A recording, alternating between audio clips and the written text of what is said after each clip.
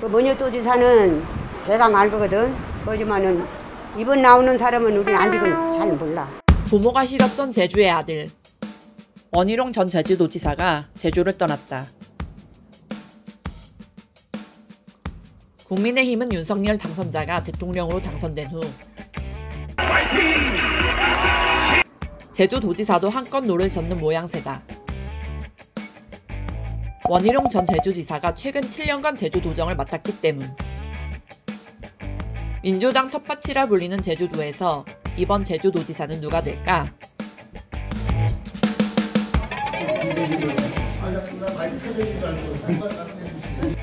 문성효 국민의힘 전 한국자산관리공사 사장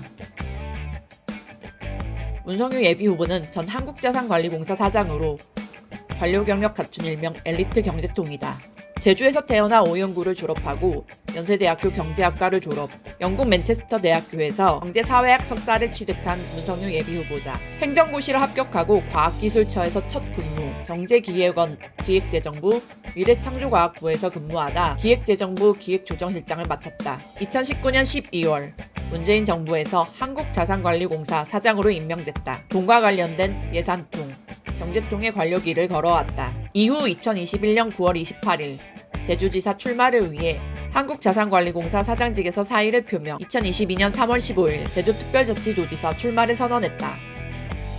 제주도지사 국민의힘 예비후보 누가 나왔을까? 네, 안녕하세요, 후보님. 가장 첫 번째 질문으로 제주도지사에 출마하게 된 동기부터 좀 여쭤볼까요? 제가 크게 세 가지로 구분해서 말씀을 드릴 수가 있는데요. 제가 지난 30년 동안 공직 생활을 하면서 제 국가를 위해 충성하고 사회를 위해서 봉사한다는 제 신념을 제주에서도 실천하기 위해서 이제 했다는 게 첫 번째고 두 번째는 제가 30년간 공직 생활을 하면서 경제, 산업, 예산 분야에서 일하면서 나름껏 대한민국 경제의 전문가이자 국가 예산의 전문가라고 자부를 할 수 있습니다. 경험과 폭넓은 인적 네트워크를 고향 제주의 변화를 위해서 도민 모두가 행복한 제주를 만드는데 밑바탕이 되고자 출마를 하게 되었습니다. 특히나 제주 현안이 많이 있습니다. 그런 현안을 사심 없이 공명정대하게 해결해 나갈 수 있는 사람이 오직 제가 가장 적합하다고 판단을 했기 때문에 출마를 하게 되었습니다. 지금까지 여러 공약을 발표해 오셨는데요. 도시사에 당선하시면은 그래도 이게 가장 최우선적으로 꼽을 만한 정책이나 아니면 사업이 있다면 어떤 것을 들 수 있을까요?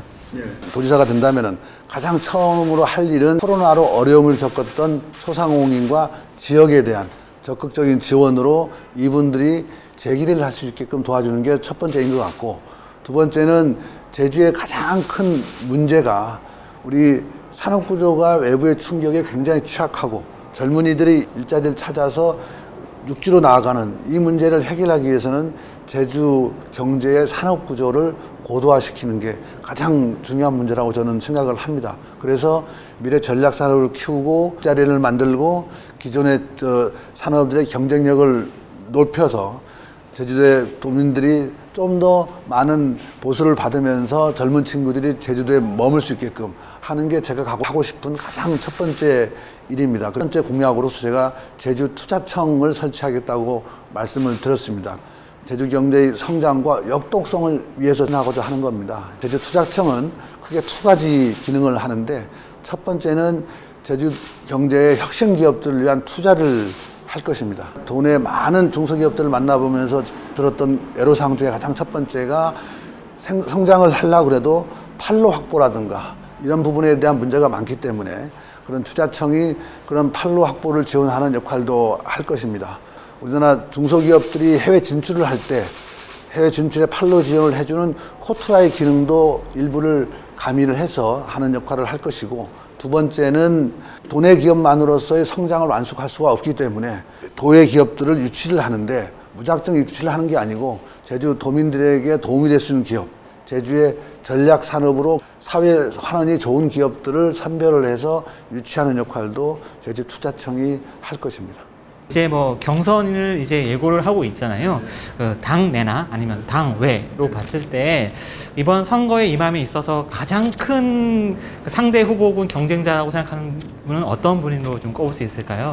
글쎄요, 뭐 다들 뭐 여러분들이 훌륭하신 분들이 많기 때문에 내부 경선을 원만하게 공정하게 치를 수 있으면은 제가 충분히 본선 경쟁력은 있다고 생각을 하기 때문에 본선에 가서도 훨- 좋은 성과를 얻을 수 있다고 자신을 하고 있습니다.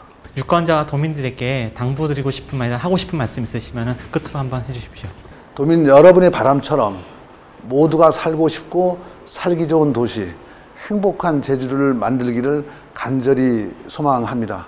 제주 경제는 지난 5년 동안 계속 정체돼 왔습니다. 제주 경제는 외부 충격에 취약한 산업 구조를 갖고 있고 낮은 생산성으로 인한 낮은 임금 수준 그리고 지역 간 계층 간 소득 불평등 문제 등 여러 가지 문제가 내포하고 있습니다.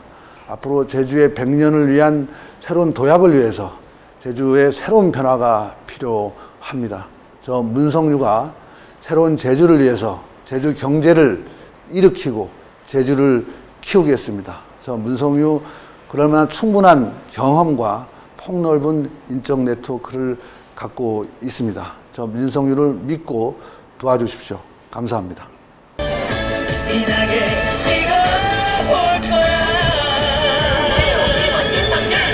책임 있는 변호 국민을 키운 사람 임명장 문성유 이하 내용 같습니다.